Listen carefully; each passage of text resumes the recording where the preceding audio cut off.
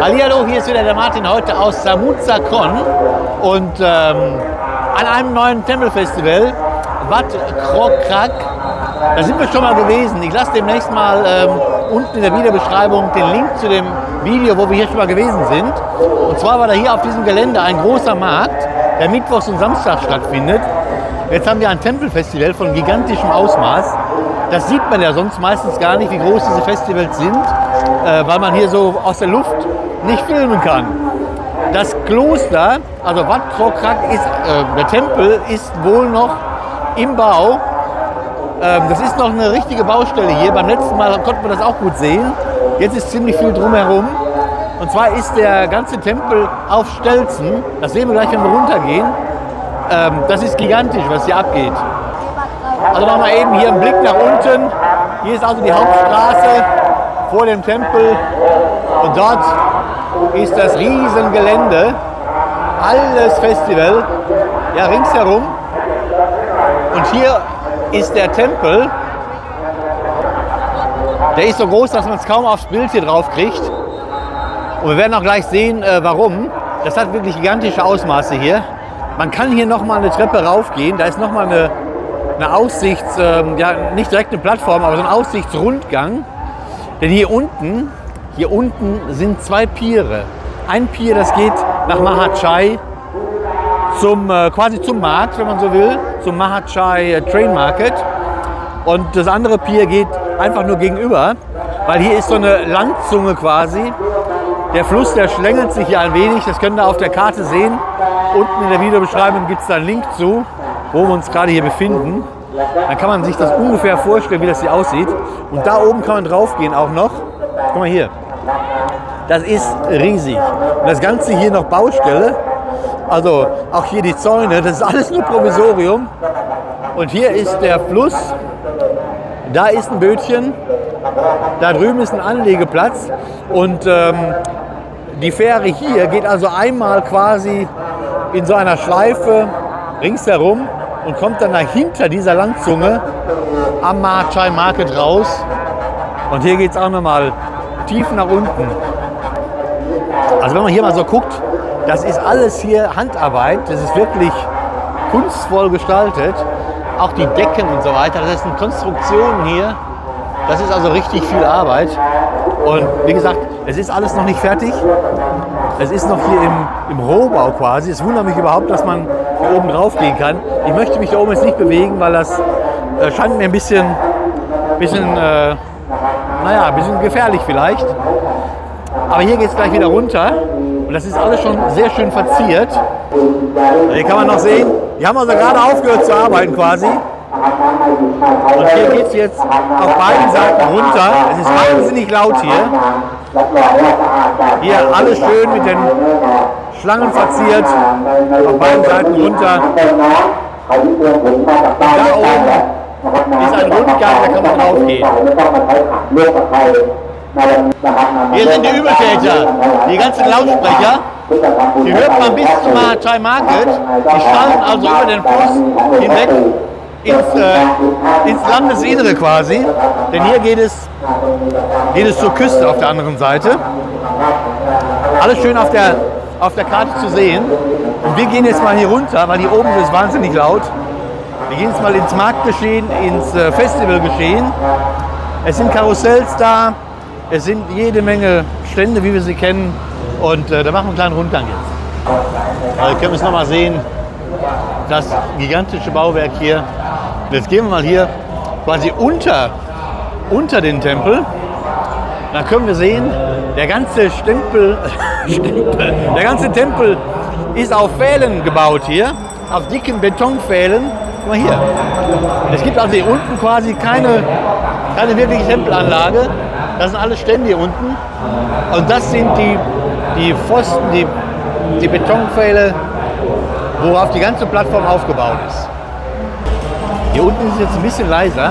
Hier ist auch nicht wirklich ein großes ähm, Tempelgeschehen. Hier sind zwar ein paar Stände, auch ein paar kleine Restaurants, aber das eigentliche spielt sich drüben auf dem Platz ab, wo eigentlich der Markt stattfindet. Nämlich mittwochs und samstags findet da der große Tempelmarkt statt. Äh, wie gesagt, Link zu dem Video, hoffentlich vergesse ich es nicht, äh, gibt es unten in der Videobeschreibung. Und jetzt machen wir hier nochmal einen kleinen Rundblick. Hier sind also auch die Bereiche, wo die Tempelgaben abgegeben werden können, wo die Spenden eingesammelt werden und wo es auch wieder richtig laut ist, wo auch gebetet wird. Das findet also hier statt. Kann man sich hier nochmal eben angucken. Hier sitzen also die Mönche, die Mönche aufgereiht und predigen und erzählen hier. Also, wenn ich schon was los hier. Und es ist heute Dienstag, also äh, quasi mitten in der Woche. Wir werden es gleich sehen, wenn wir über das Festival gehen. Wir haben jetzt 19 Uhr. Ja, hier.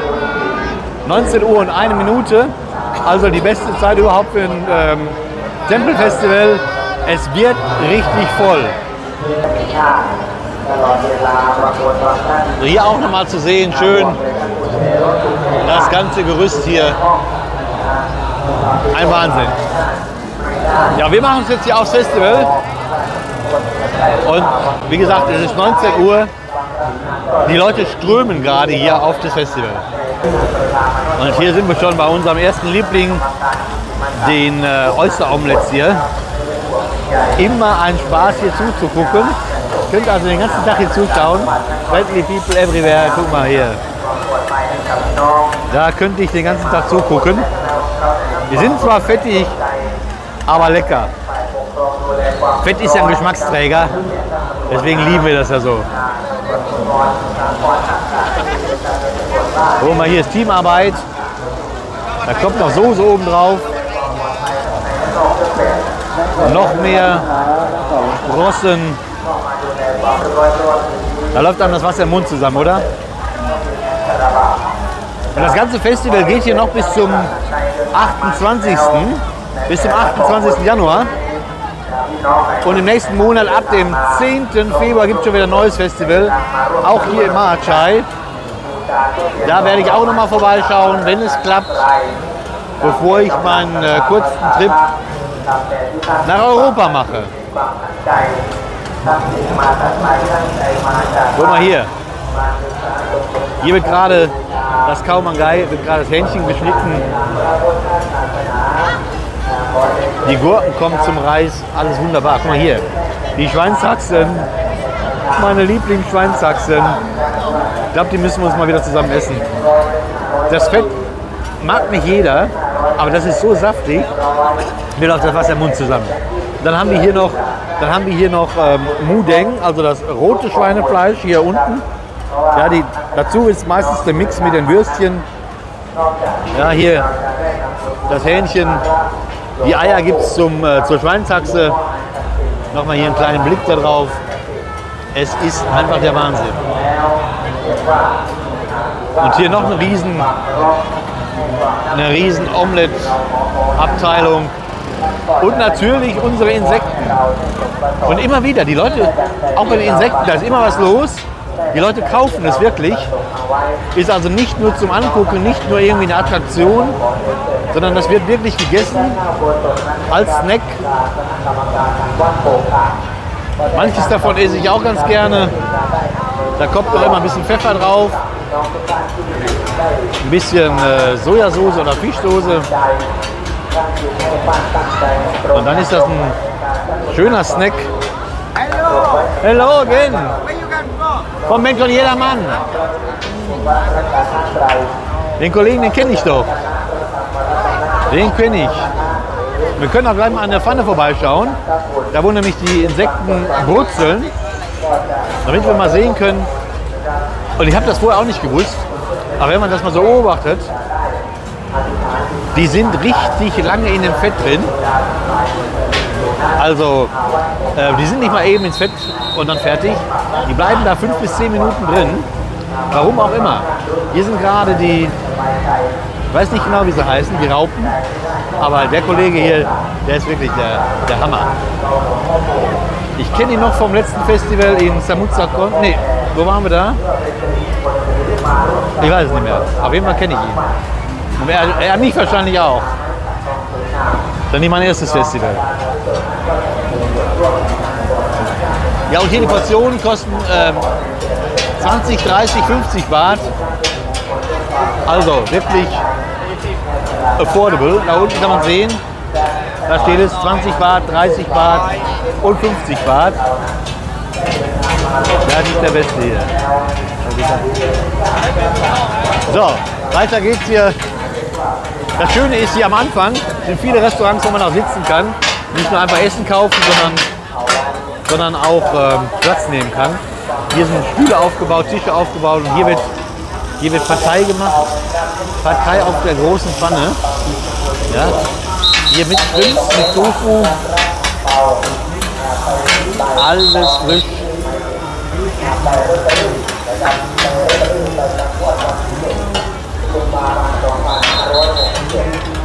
Ja, und die machen hier äh, Radau um die Wette. Ja, beide gehören ja zusammen. Und Klappern gehört zum Handwerk. Da sieht man, nächste Portion fertig. Ein Gaumenschmaus. Und hier, hier gibt es Suppen, Sabadika. Guck mal hier. Hier gibt es Suppen mit frischem Fleisch dabei. Guck mal hier. Das sieht nach Schwein aus. Dazu gibt es Fleischbällchen, da kommt die Reisnudel rein, Grünzeug, Bällchen, alles toll. Ja, ich rede mich über den Rasen hier. Ich bin wirklich begeistert, wenn ich das sehe. Könnte mich glatt dazusetzen. Mache ich vielleicht später. Hier noch eine Abteilung. Guck mal hier. Das ist die Abteilung mit den Schweinsfüßen, äh, mit den, mit den Hühnerfüßen, Entschuldigung. Guck mal hier. Guck mal hier, da sind sie. Leberstückchen. Und hier ist der, die Hühnerfußabteilung, die frischen halbierten Eier. Oh mein Gott. Das ist was. Guck mal. Ja, hier ist richtig was los. Beste Zeit 19 bis 20 Uhr, eigentlich bis 21 Uhr ist wirklich immer viel los auf den Festivals. Und ab 21 Uhr wird es ein bisschen leerer, aber immer noch gut bis 22, 23 Uhr kann man sich hier aufhalten. Wir sehen auch gleich warum. Denn es gibt hier noch äh, Spaß für die ganze Familie, Karussells und so weiter. Also kommt alles noch. Hier gibt es nicht nur diesen einen, sondern viele, viele andere Gänge auch. Ich schwitze. Es hat vorhin etwas geregnet. Es war ein kurzer Schauer und dann war es auch wieder weg. Aber die Luft, die Luftfeuchtigkeit ist riesig. Und äh, guck mal hier, auch die Riesenbälle. Hier 50 Baht für so einen Spieß mit den riesen Fleischbällen. Wenn man da einen Spieß von auf hat, dann ist man wirklich schon halbwegs satt. Also alleine, alleine kriegt man so ein Ding noch kaum auf. Man will ja eigentlich von jedem ein bisschen was probieren. Da gibt es die kleinen Spieße, die kosten 10 Baht. Alles wird nochmal auf den Grill geworfen. Und wie gesagt, die großen, die großen Bälle hier, die, die Klopper, die kosten 50 Baht. Auch hier, guck mal hier. Sowas kostet 3 Baht pro Stück. Guck mal hier, die sind auch schön frittiert, kleine Bällchen. Da ist noch so ein schöner Teigmantel drum. Und das Ganze müsste dann für, was haben wir denn da? 30 Baht sein. Das sind 10, 10 Sticks immer zusammengebunden. Ja, das Ganze gibt es dann für 30 Baht. Also wirklich sehr lecker. Die Bällchen alleine sind manchmal ein bisschen, bisschen laff, aber mit der Panade drumherum ist ein bisschen Würze drauf. Da gibt es auch noch eine Soße dabei, wer will. Ja, hier, das ist, das ist die, ähm, die Squid Egg Pfanne. Ja. Wenn die schön heiß sind, schmecken auch sehr gut. Dann mit der grünen Soße dabei. Und hier bei den anderen Spießen, da gibt es eine gibt es eine äh, süß-saure Soße dabei. Süß-sauer-scharf. Also, wie gesagt, wer noch hier hinkommen will. Und hier die Nudeln. Nudeln für 20 Baht. Das ist äh, ungefähr 55 Cent. Das ist wirklich der Hammer. Guck mal hier. Da gibt es eine Portion von, von welchen Nudeln auch immer. Da ist eine ähm, Parteiart, da ist ein Patseu. Hier sind ähm, Eiernudeln, Mama-Nudeln. Also wirklich eine große Auswahl. 20 Bar, da kannst du 1, 2, 3, 4, 5, wie verschiedene? 1, 2, 3, 4, 7 verschiedene. Da hättest du quasi für 140 Baht von jedem mal eine Portion. Kannst du übrigens auch mixen. Ja, kannst du auch mehrere in einem Schälchen unterbringen. Einen kleinen Mix. 20 Baht für ein Schälchen. Der ist unglaublich, oder? Guck mal hier. Ist das was? Das ist wirklich geschenkt. Und deswegen kannst du dir auch vorstellen, warum hier so, ähm, so viele Leute stehen. Ja, ist also wirklich etwas, wo alle, wo alle gut aufgehoben sind, weil die Auswahl der Nudeln ist groß und Nudeln mag eigentlich jeder. Und hier der nächste Stand, ähm, gegrillte Bananen. Guck mal hier, äh, die Leute stehen Schlange, gegrillte Bananen mit verschiedenen, mit verschiedenen Toppings, also mit verschiedenen Soßen dabei. Die Bananen kommen auf den Grill, da werden die meistens noch platt geklopft und dann klein geschnitten. Guck mal hier, da gibt es mit Kokossoße, mit Maissoße. Ähm, hier ist Longon, was haben wir da noch? Also verschiedene Soßen. Da werden die klein geschnittenen Bananen in ein kleines Becherchen. Und dann kommt das Topping oben drauf. Und hier auch so ein Becherchen kostet 50 Baht. Ja, hier auch. Bekannt, bekannt aus TikTok. Kann man also heutzutage die ganzen großen von den Anbietern hier, kann man wirklich auf TikTok verfolgen. Irgendwo stehen dann die Kameras rum. Und äh, wir schauen uns mal hier. Guck mal, die Leute stehen Schlange hier. Guck mal hier. Unglaublich, oder? Die stehen bis da hinten. Guck mal da. Stehen alle Schlange. Ich werde nicht mehr. Ich flipp aus. Guck mal hier. Alle wollen so Bananen. Jeder will Bananen. Und so sieht das Ganze aus hier. Hier, da ist die Bananenabteilung.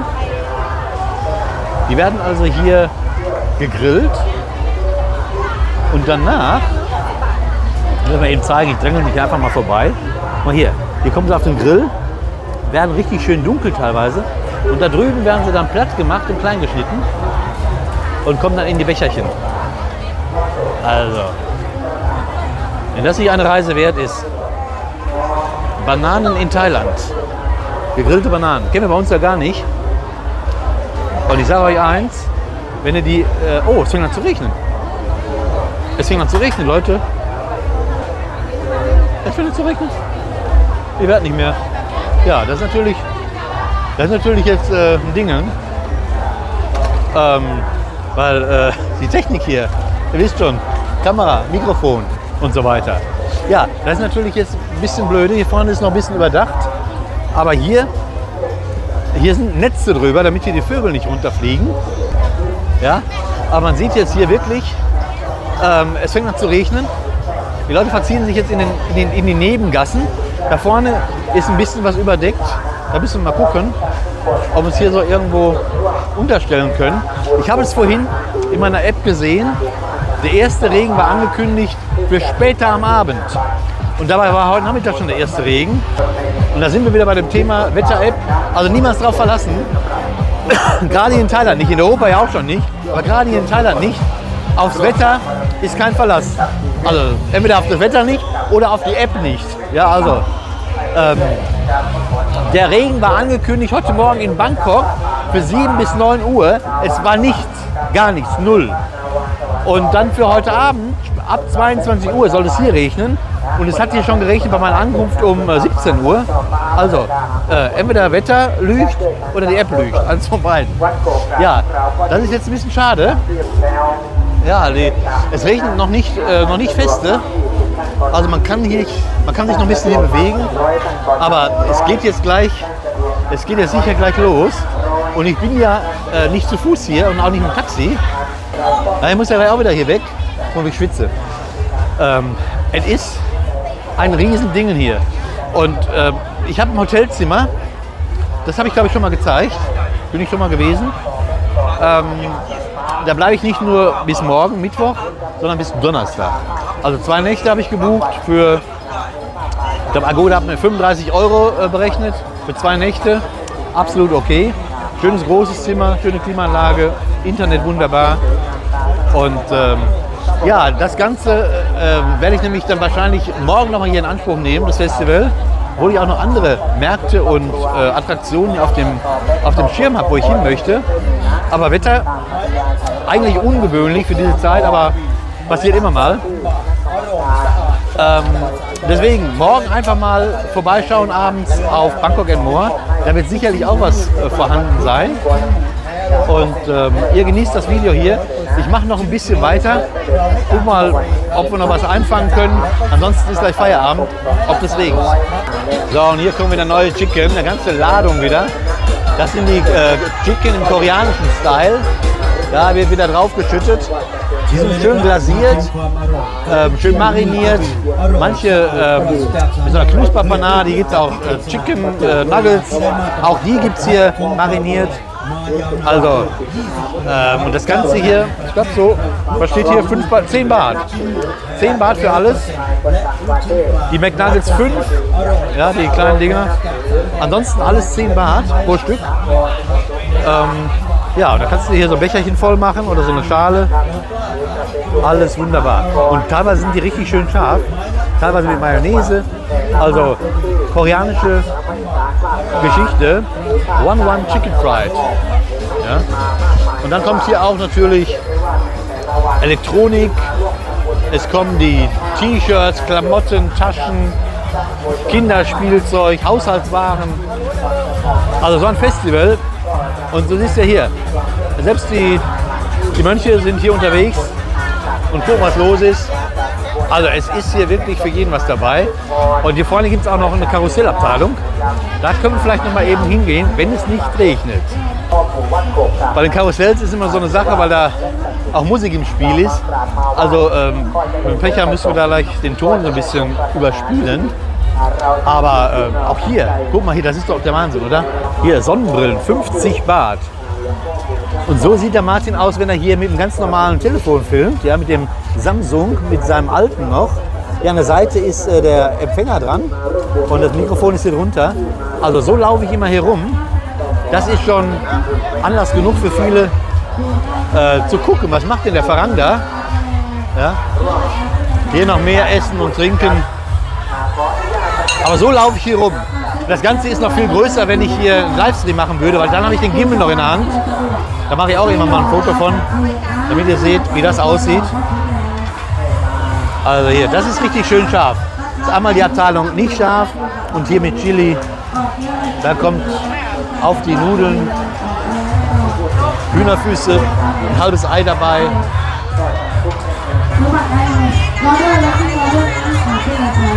Also, das ist nur ein Bruchteil des, des ganzen Festivals hier. Wirklich nur ein Bruchteil. Aber ich kann euch sagen, es lohnt sich. Wer also hier in Thailand ist, zufällig gerade in, in der Nähe von Bangkok, in einer Stunde bist du hier von Bangkok aus. Kannst mit dem Zug ganz bequem kommen. Aber auch mit dem Minibus gibt viele Möglichkeiten hinzukommen. Da weiß jeder Bescheid. Selbst im Taxi. Wenn ihr zu zweit oder zu dritt seid, ist auch ein Taxi kein Problem. Fragt den Fahrer eures Vertrauens. Der bringt euch auch hier zum Tempelfestival Wat Trokrak. Hier gibt es die Waffeln und, und kleinen Pfannekuchen. Ich habe diese Waffeleisen, habe ich mal auf der Messe gesehen letztes Jahr. Eine ganz tolle Geschichte. Also, werden auch gut nachgefragt. Die sind also den ganzen Abend sind die hier am Waffeln und am, am Plätzchen machen. Waffeln und kleine, kleine äh, Pfannkuchen. Dann gibt es noch hier die, ja, das ist Pfannkuchenabteilung. Guck mal hier, da kommen auch Geschichten rein. Ja, und dann Ganze wird dann zugeklappt. 19 Baht oder hier. Das sind so bananenförmige. Da kommt jetzt gleich noch was rein, da wird zugeklappt. Und das fertige Produkt sieht dann so aus. Hier. Und hier oben, das kennt der eine oder andere vielleicht noch ähm, aus unserer Jugend, da drin fahren die Motorräder im Kreis, immer an der Wand lang. Auch ein Spaß für Groß und Klein. Da gibt es ein ähm, Wikinger-Schiff für die Kleinen. Also, ihr könnt sehen, es ist Wirklich ein tolles Festival. Und jetzt hat es wieder aufgehört zu regnen. Mach also noch ein bisschen weiter. Ein paar Minütchen. Damit sich das Ganze auch lohnt hier. Da hinten gibt es noch mehr Karussells. Es wird auch scharf geschossen hier. Das kann man sich mal angucken. Wie weit die Leute also die Gewehre da reinhalten. Ja? Äh, bis, bis kurz. Also wer da nicht trifft, ist selber schuld. Komm, komm, ja, guck mal hier. Ja, guck mal hier. Noch weiter. Unglaublich, oder? So was geht bei uns nicht, oder?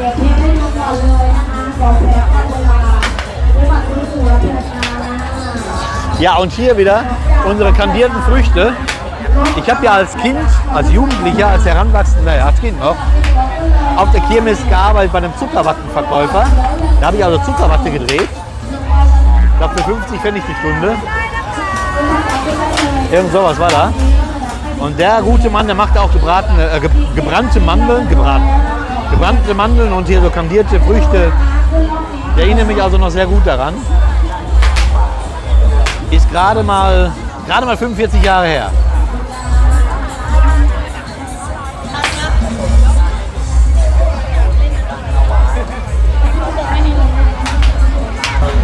So, und das will ich euch unbedingt noch einmal zeigen, weil das beim letzten Mal nicht geklappt hat. Da habe ich zwar den Stand zeigen können, da war mal nichts los. Da standen die, glaube ich, gerade im Dunkeln. Jetzt machen wir hier einen Blick drauf. Guck mal hier. So, hier. Bälle werfen für den guten Zweck. Bälle werfen für den guten Zweck. Da ist sie im Wasser. Einmal ins Wasser. Der Kollege hat getroffen. Ja. Wie gesagt, ich habe da schon mal einen Kommentar zu abgegeben. Also, da könnten auch Männer drauf sitzen. Ja, das ist also hier kein Problem. Aber es finden sich keine Männer. Vielleicht sind die auch zu schwer. So sieht das Ganze hier aus. So, zum Schluss nochmal die Kinderabteilung hier. Äh, ganz toll, das habe ich in äh, woanders noch nicht gesehen. Also bei uns in unseren Landen. Hier, Wasserspiele. Das wäre, glaube ich, viel zu gefährlich oder wie auch immer. Da können die Kinder reinkrabbeln und sich dann hier ähm, im Hamsterrad, im Hamsterrad quasi bewegen. Ja? Können dann am Rad drehen. Oder hier kleine Bötchen fahren. Wie gesagt, da ist Aufsichtspersonal mit dabei. Auch hier hinten, da gibt es Hüpfburgen, große Hüpfburgen, kleine Hüpfburgen, Riesenräder, Miniräder. Ja. Hier wird gehüpft, hier wird getanzt. Also, die Kinder haben Spaß, das ist die Hauptsache. Da drüben gibt es noch ein Karussell, ein traditionelles. Und da hinten was für die Großen noch am Ende. Da gehen wir noch mal eben kurz einen Blick drauf. Dann ist auch gleich Feierabend. Da haben wir doch noch eine halbe Stunde vollgekriegt. Unglaublich, oder? Ich hatte wirklich Bedenken gehabt wegen des Regens, aber es soll, wie gesagt, um 22 Uhr äh, soll es richtig anfangen. Es soll auch die ganze Nacht durchregnen. Also deswegen kurzen Blick noch drauf auf ähm, Space Wars und dann sind wir weg. Bleibt gesund, dann braucht ihr keinen Doktor, wir sehen uns mal wieder. Tschüss.